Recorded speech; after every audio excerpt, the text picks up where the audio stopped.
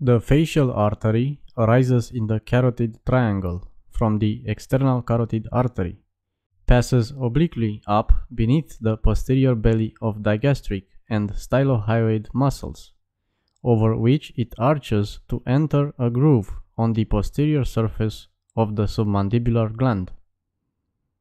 It then curves upward over the body of the mandible at the anteroinferior angle of the masseter, then passes forward and upward across the cheek to the angle of the mouth, then ascends along the side of the nose and ends at the medial commissure of the eye under the name of the angular artery.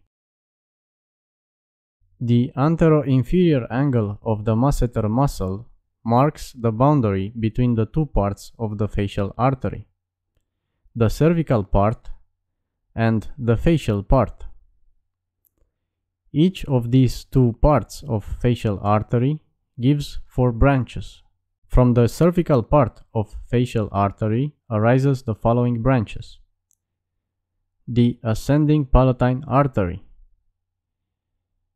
the tonsillar branch for the palatine tonsil, glandular branches for the submandibular gland, and the submental artery, which is the largest of the cervical branches of the facial artery, and runs forward just below the body of mandible and beneath the anterior belly of digastric. From the facial part of facial artery arises the following four branches.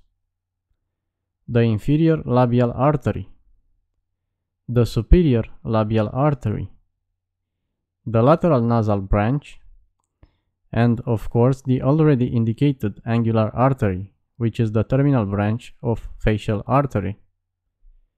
Close to the medial angle of the eye, the angular artery anastomoses with the dorsal nasal artery, which is the terminal branch of the ophthalmic artery.